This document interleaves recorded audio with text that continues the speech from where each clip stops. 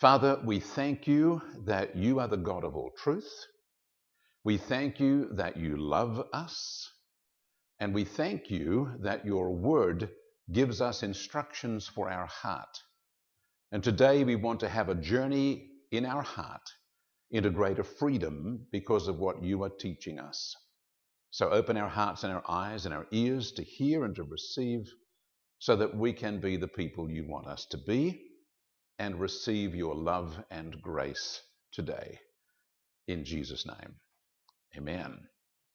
We are in a spiritual war, and our enemy is a nasty enemy.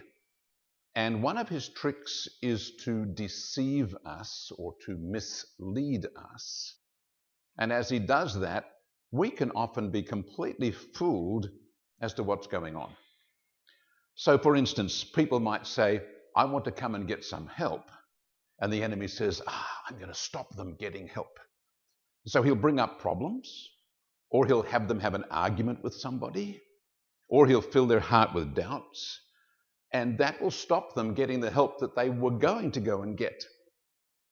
An example in New Zealand, I was assisting a family, and the wife of the family said that her husband had many problems and needed to get some help. But every time she suggested to him that he should come and see me and get some assistance, he would say, Why? There's no problems. And she would think there are so many problems, but he's it's like he was blind, he could not see them. And so one day they were sitting at the dinner table and he was talking about some issue, and she said, You know, you should talk to Pastor Chris about that.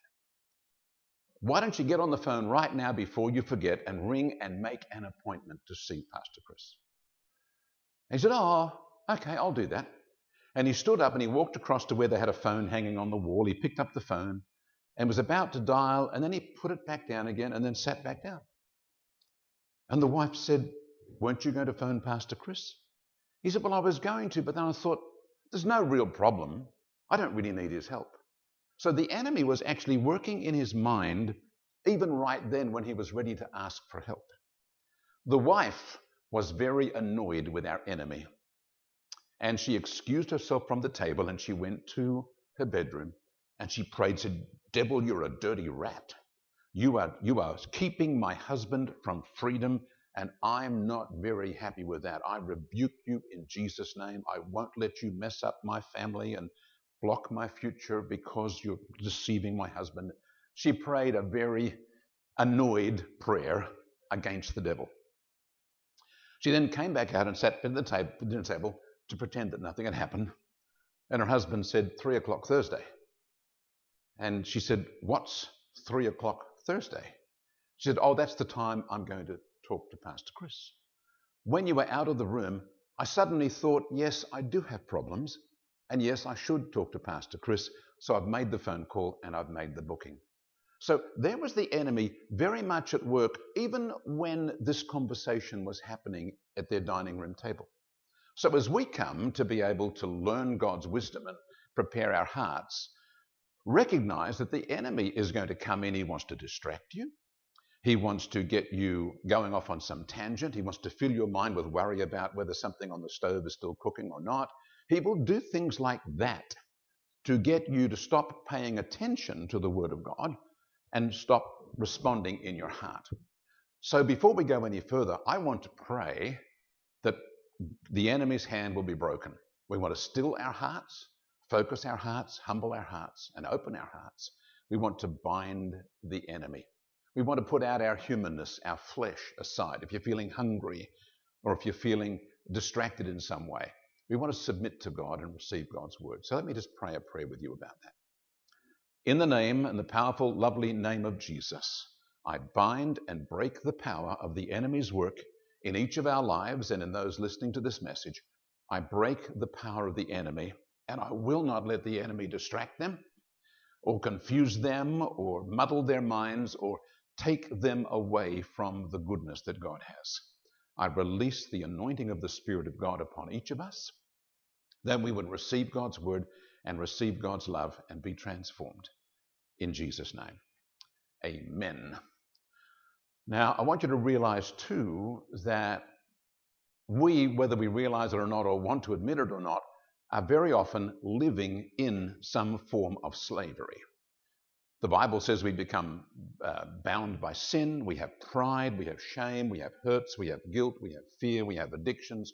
There are evil spirits, there's deceptions and lies, there's empty hopes, foolishness, anger, jealousy, bitterness. All this stuff comes into our lives and it enslaves us. And then we begin to feel like, oh, well, I'm just different now to the way I used to be. Uh, or I, I wish I had more patience, but I just don't. I guess it's my personality. I guess it's the way God made me. But in fact, it could well be that the enemy has brought his work into your life in order to enslave you. And Jesus is the one who sets us free. People can live their whole lives in various forms of slavery and not even know it. Have you ever met people that are angry and they go off like a hair trigger at anything? And they say, oh, it's just the way I am. Well, it's not the way God made them, it's the way the enemy has messed them up. And we have this wonderful scripture out of Hebrews chapter 2, verse 15, that Jesus came to destroy the devil and to free those who, for the whole of their lives, were held in slavery by the fear of death. So there are people who, for the whole of their life, are trapped and they don't know it. They think well, it's just the way I am. It's just everyone from where I come from is like this, or all my family is like this. It's just the way we are. But it's actually slavery. So I want you to pray a prayer of openness. And the prayer that I've got up here says, Lord, I don't want to be a slave. Help me see the areas that you want me to deal with and give me faith to respond to you. Don't let me go through life blind and fooled and missing your best for me. Why don't we pray that together? Lord, I don't want to be a slave. Help me see the areas that you want me to deal with and give me faith to respond to you. Don't let me go through life blind and fooled and missing your best for me. The other thing that's important to know then is that it's Jesus who sets us free. John chapter 8, verse 36 says, If the Son, that's Jesus, sets you free, you are truly free. You, you're absolutely free on the inside, in your heart, in your mind, in your habits, and everything. And then in Galatians chapter 5, verse 1, it says, For freedom Christ has set us free. Stand firm, therefore, and do not get entangled again in the yoke of slavery. So we are able to become free. We're able to be free. And it's wonderful over the years to have seen different people get blessed as they've been prayed for by others, or I prayed with them. And areas where they've been bound and thought they could never be free, they actually come free and they're almost laughing. This is wonderful. I've never, never thought I would feel this free. Well, that's what Jesus has done. He's come to be able to set us free. So I want you to pray for freedom. A prayer like this Lord, thank you for freedom through Jesus.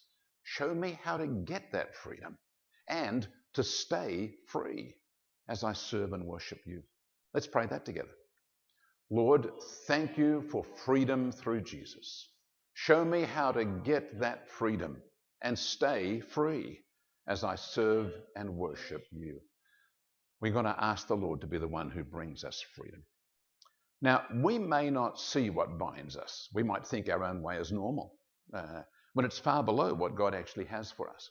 We can hold on to ideas and life patterns and responses and fears and false hopes, etc., which stop us receiving our full freedom. And I don't want you living in any kind of slavery. I want you to live with the freedom that God has for you. People come to me and say, Well, I've got fears and I've just had them all my life and I've done everything I can to deal with them. I guess I'm just going to have to live with these fears. Say, no, you don't have to live in slavery. You can be set free. And so, another prayer to open our eyes Lord, open my eyes and my heart to know the truth that sets me free. Show me things I cannot see and give me wisdom so I'll make the right choices. Why don't we pray that together? Lord, open my eyes and my heart to know the truth that sets me free. Show me things I cannot see and give me wisdom so I will make the right choices. I recall a testimony from a, a rather amazing man of God working in Mexico, David Hogan, and he was in a battle uh, fighting for the health of his daughter, who had gone through a whole bunch of terrible uh, medical emergencies and went from one to the next to the next to the next. And he was struggling with God over this thing. And suddenly he realized it's like his eyes were opened and he thought, This is the devil. This is just the devil attacking me and my family. And I've got no fear of standing up against the devil. He was more intimidated by a doctor with some big medical name, but he wasn't afraid of the devil. When he realized his eyes were open, this is the devil. He said, Devil, get your hands off my daughter. Get your hands out of her life. I break your power. And suddenly she recovered. So it wasn't that there was, there was not a truly a medical emergency. It was the devil creating the impression of that over and over again. So I want your eyes to be open to whatever is happening in your life. Now, because God loves you, He wants to lead you into full freedom. So He shows you where you need healing and release. But our pride and selfishness can stop us responding to God. I can remember in my late teenage years that I would sense God speaking to me and saying to me that there was something I had to deal with, and I'd feel like, don't pick on me. I'm a good boy. I'm not like those other people down there. Go and pick on them. They're the people that are doing the bad things. But God loved me and He wanted me to be free. I had feelings of inferiority and shame. I had other things in my life that bound me up. And when God came to talk to me about them, I really didn't want to talk to Him about it. One, because I felt pain. Two, because I felt ashamed. And three, I really didn't know that I could trust God to get in there and deal on the inside of me. So even though God loved me, I was pushing Him away. And today, as we come through these steps, you'll discover more about how God wants to set you free but I need you to have an open heart. And so this is our prayer of thanks. Lord, thank you for loving me. I don't deserve your care and attention, but I really appreciate it. Pour your love into my heart so I become captivated by you and want only to please you in my life. Let's pray that together. Lord, thank you for loving me. I don't deserve your care and attention, but I really appreciate it. Pour your love into my heart so I become captivated by you and want only to please you in my life. Praise God. Because God wants to set you free, He loves you, He wants to set you free. In order to do that, He's got to put His spotlight onto something in your heart or your mind or your life that He knows needs to be dealt with. And as I said a moment ago, when God did that for me, I rejected it. I pushed away the things that God was trying to show me. I didn't really want to have to deal with it. Now, God can use a number of means to prompt our heart and to open our eyes. We might be reading God's Word or hearing a sermon or a message or even a Christian song, and something will speak to us and we'll realize, oh, that's something that's not quite right in my life. Sometimes there's circumstances or there's conviction by the Spirit or pressures that come upon us or problems or difficult people. God can use all of those and many other means to point out to us that we have a problem. When I was a little boy in primary school, I loved the idea of being up front. I thought that was wonderful, and I loved the idea. And the only way to be up front, apart from in your class, was at the school assembly. At the school assembly, a boy and a girl, usually from the grade five or grade six, would march up onto the platform and stand beside the flagpole where the Australian flag was flying and they would recite the school pledge and lead in a school prayer. These were the two things that were done. It only took a minute or two, but I wanted that job because I wanted to be up front in front of all the kids. So one day the, the teacher asked if I would like to do that, and I said, Yes, yes, please. I did. So the next morning, I was dressed neatly and standing on the side of the platform. And uh, when the principal gave his little nod or whatever, the girl and I got up and we walked in step and we came all the way across and stood right beside the flagpole. And I looked out at all the kids, and they were looking straight at me. And my face went red like a beetroot. Like just, I could feel it burning with shock of, of embarrassment. My eyes began to blink at 90 miles per hour, and tears came streaming down my face. I was just completely stunned. I did not expect that to happen. As I stood there, face glowing red, blinking 90 miles per hour, tears running down my face. I, I knew the pledge, so I could lead all the kids in the pledge, and then we had to wheel around and, and walk our way off the platform. Once we got off the platform, my eyes stopped. I stopped blinking and my face settled. I thought, what in the world is that? I didn't know I had that sort of problem in me until the situation came up. Now, I didn't know anything about God's love and God wanting to set me free. I just knew I had a problem. And I chose that I would work out how to conquer my problem. And I conquered my problem by bravado, by appearing confident. I thought I'll, I'll push through this thing. I'll just be, I'll be confident. There were other issues that one day I'll tell you the long version of the story, but I, I would find if I walked into a room, I was afraid that I would see people looking at me because that would be embarrassing. So I would look at people's feet, I'd look at the ceiling, but not at the people. And so I had all sorts of things that were messing me up. It was a deep seated insecurity based on rejection, I guess, in my life. Now, God was shining the light on that, and He shone the light on many other things in my life from time to time. Suddenly, a memory comes back, or a reaction to something happens, and God will say, Chris, I'm showing you that's something you've got to deal with. I continued to pretend that I was confident for probably the next six or seven years. I thought I had conquered my problem. And I got up and I spoke. I, I acted on the stage. I, I won speaking competitions. I was the ace debater in the school. It was wonderful. I loved being up front. And I, I was using my, my pretend confidence to be able to do that. And then one Sunday morning, in a little tiny church with only 30 people in it, in a hired hall, my pastor asked me to get up and lead some songs. And so I led a couple of happy songs, and then usually we would finish with a song that people would sing, usually with their eyes closed, because it was like a prayer song or a worship song. We got to that song, and all of a sudden, my eyes began to blink at 90 miles per hour. Tears began to stream down my face, and my face was red like a beetroot. And, and thankfully, most of the people had their eyes closed and they weren't looking at me. I got off the platform as quick as I could and went and sat on the front row with my back to all of the people so they couldn't see, and I recovered. I said, God, I've got a problem. And I did not hear God's voice, but it was like God said, Chris, I've been trying to tell you that for a long time, but you weren't listening. You didn't want to know. You were pretending that everything was fine. So I think we need to pray a prayer that goes like this Lord, Many issues in my life may be you showing me where I need you. Forgive me for not realizing that. Give me understanding about what is happening in my life and wisdom about how to respond the way you want me to. Let's pray that good prayer.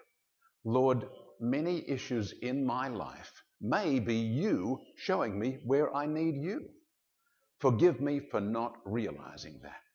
Give me understanding about what is happening in my life and wisdom about how to respond the way you want me to. I found that the way that God has done most of his work in my life has been when I would talk to him and let him move in my life. It's really very, much, very much a relationship. Yes, I heard things from preachers. Yes, I was touched by things that people sang in songs. Yes, I was touched by things in the Word of God. But my spiritual life has really been about the times I talked to God. And so I'm giving you these prayers for you to talk to God because you and God have an amazing relationship. And once you get that flowing really well, God is going to pour into your life wonderful things. But if you sit back thinking, well, I'll just get the pastor to pray for me, or I'll get the prayer team to pray for me, and you don't have that journey yourself, you're going to miss out on so much of what God has for you. If God has been trying to speak to you, to get your attention, to get you to change things in your life, you may not have realized it. But I'm going to ask you this question Are there things God has already been talking to you about and you've not realized it? Or, like me, you've been trying not to hear what God is saying? I want you to take a moment and to bow your head and close your eyes. And I'm going to pray this prayer Father, in Jesus' name, show these people what it is that you've been talking to them about and they didn't realize it. Show them the areas where maybe they have refused to listen. maybe out of fear, or maybe out of some other distraction. Lord, grab a hold of these people in Jesus' name and open their hearts to what you're saying in and through them. And friends, I want you to stop and just pause for a moment and say, God, is there something you're talking to me about? And to just make note of it, God, I, I realize you have probably been talking to me about my pride or my impatience or my selfishness or that I won't forgive that person. There could be a thousand things God is talking to you about. Open your heart and make note of what it is that God is wanting to deal with in your life. God is in the business of rebuilding and restoring damaged, damaged lives. I told the testimony last week about a friend of my daughter Sophia who had had some incident happen 10 years ago that had brought pain and difficulty into her life. And she had gone to her pastor, she'd gone to uh, praying Christians, she had gone, read books, looked for ways to solve this problem, and nothing had helped. She had at one point gone to some people who had a prayer ministry, they prayed for her, and she was somewhat benefited, but the problem persisted.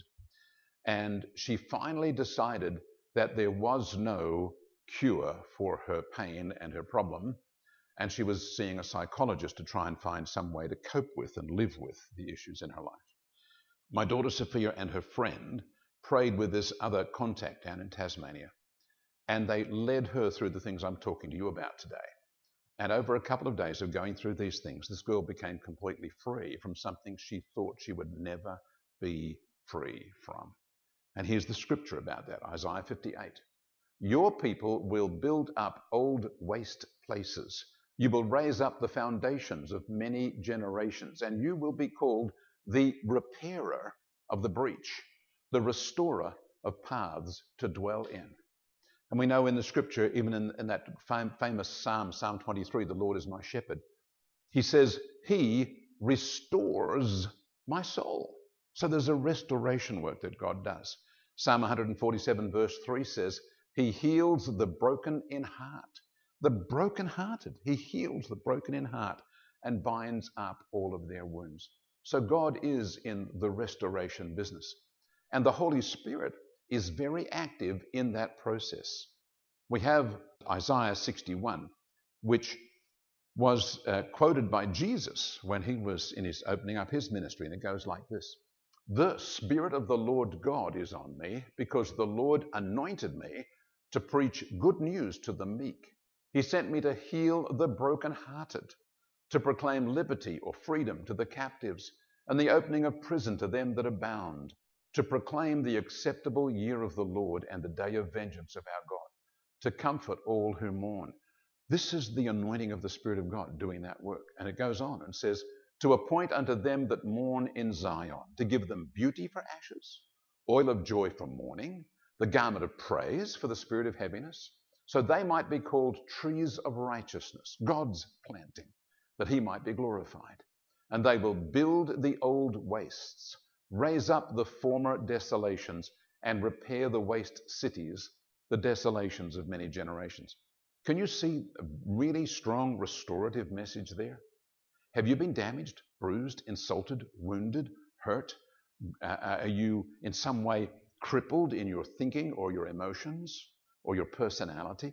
God is in the business of restoring all of those things. And look at these other verses about God wanting to bless you. He restores my soul. We saw that from Psalm 23.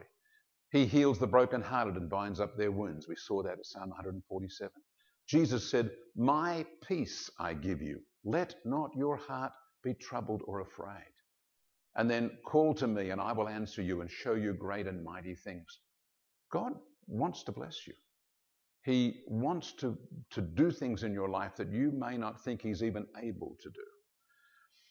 Now, one of the problems I had when I felt that God was talking to me and wanting to deal with things in my life, I was afraid of God. Like a child with, with a wound and a bandage over the wound, and someone says, Oh, let me have a look at it. You think, No. For you to have a look at it, we've got to tear the bandage off, and that's going to hurt. And then you're going to want to poke it and say, Does it hurt there? I don't want you touching my wound. No, no. And that's how it felt when God came to me and said, Chris, I want to deal with you, I want to help you. Uh, I want to deal with your hurt. I'm thinking, no, you've got fat fingers. I can't trust you to touch my pain without hurting me. And yet, this scripture that I'm going to show you now was so wonderful in helping me out of Isaiah 42. A bruised reed he will not break, and the smoking ember he will not put out. He will bring forth truth, judgment. You see, I remember as a child, um, mum had a bit of a garden, not much of a garden, and we were told not to kick our ball anywhere near the garden. But you know, you do things, and suddenly you realize that this pretty flower just bends over in the middle, you know, chunk, and you go and you push it back up again. And when you take your fingers off, it goes ka-chunk, and you think, oh no, I can't make it stay up. It's just going to keep falling over. It's bruised. It's bruised. And if you keep doing that for too long, it's going to break, right? But here he's saying a bruised stick, a bruised reed, a bruised stem. He's not going to break that. Maybe you are a bruised stem. And you know you're broken somewhere back there, right? You know something's injured you and it's hurt you. He's not going to break you. And you know, you've got a bit of something burning, and there's a last little tiny bit with a little orange glow and a little bit of smoke coming up. You could go, eh, and you could put it out with your finger. But even that, he will not put it out, right? The smoking ember, he's not going to put it out. And I realized I can trust God. If there's anyone I can trust, it's God. I can safely trust him. I'm safest when I'm falling into his arms. Now, God led me over a number of years, in my later teenage years, early 20s, into a whole bunch of areas of freedom. And I remember having a conversation one day with my older brother. And he and I had both come into an experience of being close to God at about the same time. And I knew that God was working in our family. And I said to my brother Lawrence, I said, You know, when God gets in your life and he starts talking to you about things, and my brother said, No. I said, yeah, you know, you, you sort of, you, you, you worship God, you hear God's word, you go to church, and God speaks to your heart and he shows you. My brother said, I haven't got a clue what you are talking about. I thought, I'm sure this was happening for everybody. I just thought this was normal. That when you get close to God, He begins to move in on you. And I didn't really want Him to. I was pushing Him away. And here's my brother saying that he didn't know what I was talking about. And I realized that God, by His grace, had allowed me to go on a journey that led me into freedom that not everybody was going on that same journey. And I remember being in New Zealand in a Bible college uh, outreach. I was going in a car with some other young people heading off to preach for the weekend, and we were sharing our stories. And I began to share the story about how I used to go red like a beetroot and tears streaming down my face, and how that God set me free, and I had a real wonderful breakthrough, blah, blah, blah. And there were two girls in, in the car with us, um, and uh, Jean, it was, I think, in the back seat, said, How did God do that? Like, really confronting. How did God do that? And I said, I, I, I don't know. He, God did it. You know, He did it by His Spirit. You know, He just moved in your life, does that sort of stuff. You know, He just did that over a period of time. And she said, You've got no right to tell anybody that story unless you can tell them how God did it for you because maybe we have the same needs and you've raised hope in us. And we want to be able to have the same freedom, and you can't give it to us, and you've only made us feel worse. I went away and I said to God, God, what did you do? I mean, it just happened. Like it happened, it happened one Sunday after another, and over time it just happened. And and I fought with you and I wrestled with you, and you kept showing me things, and I it took a couple of years of just going through that process. I, I didn't write a catalogue and a diary, I just lived. And it just happened. So I said, God, show me what you did. And God began to remind me of a number of things that He had to take me through before I could get to freedom. And I realized they were the steps that God took me through to bring me into release or into freedom. And so I wrote them down. I called them the steps to release. And I'm going to walk you through those steps today, give you a copy so you can take away to pray over and use and share with others. It's not copyright material. The Bible says, freely you have received, freely give. So I'm happy to give you freely what God has done in my life. I didn't even know He was doing it until after the work was done. And I've used those same steps over and over again on myself. I've used them to help Susan. I've used them to help my children. I've used them to help friends and people in my ministry around the world. I've used those steps over and over and over again. And I found that they are pretty well universal. It's not one size fits all, but the steps themselves tend to lead people through filtering out their own stuff so that they can be able to get the help that they need. So I'm going to walk you through those. And I particularly want you to journey with the steps yourself because then you'll have a much better grip on them and you'll be much better able to help other people with them. So here's what I want you to do I need you to select an unresolved issue in your life. Now, it could be a weakness, it could be a hurt, it could be a fear, it could be an attitude, it could be a habit. I don't really quite care what it is. It's something in your life that you know you wished you could have been free of, but you're not. Maybe you're impatient. Maybe there are some people and you just can't forgive. You're never going to let off the, off the hook for what they did. Uh, I don't know what it is. It could be anything. If there is an unresolved issue in your life that comes to your mind, then say, okay, I'll choose that one. Okay, that's the one I'm going to work with. And as we go through the steps, I want you to apply each of those steps to that particular issue so that you can unpack it and see God's blessing come upon that issue, right? Now, maybe you've been hurt, attacked, abused in some way by people. Maybe you've been lied to. Maybe you've been disappointed. Maybe uh, you've made some blund- uh, monumental blunders. Uh, maybe there's things, that, and just pick one thing so that you can use that for no other reason than to be able to map your way through these steps following that one particular issue. And I want you to understand that this is a spiritual battle. Often in life, we find ourselves fighting with and arguing with people, and we assume that it's because they're difficult or it's because this or whatever. But look at what Paul said in Ephesians 6. He says, We do not wrestle with flesh and blood, but against principalities, powers, the rulers of darkness of this world, against spiritual wickedness in high places. That means there are certain kinds of demons, certain kinds of, of fallen angels that serve Satan who actually work in different places. Notice it's almost like a, a corporation. You've got your, your wickedness in high places, you've got the rulers of the darkness of this world, you've got principalities, and then you've got powers. It's like a pecking order of people in a company in different positions, taking orders from the one above, and hmm. they are being assigned to be able to destroy you. Why? Because the devil hates God, and therefore God's creation, the people that should spend eternity with him, the devil wants to destroy them and take them to hell. And when you put your faith in Jesus and Jesus comes to set you free, the devil starts fighting. No, you can't have them. You can't have them. Well, they can go to heaven, but they're going to stay angry. Right? And so there's a wrestle going on over you and over what's happening in your life. It is a spiritual battle. I want you to know that Jesus has already won the battle. Jesus took on human flesh and blood so that, as Hebrews says, so that through death he could destroy him that had the power of death. That's the devil. And that's why Jesus was able to say to his disciples in John 16, he says, In the world you will have trials, but be of good cheer. I have overcome the world. So life may not always be easy, but you are on the winning side. These are the steps I'm going to take you through today.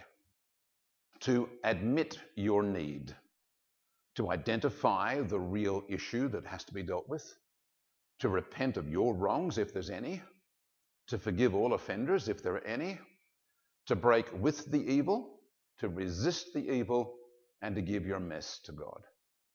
It's that simple, and yet that's a profound journey.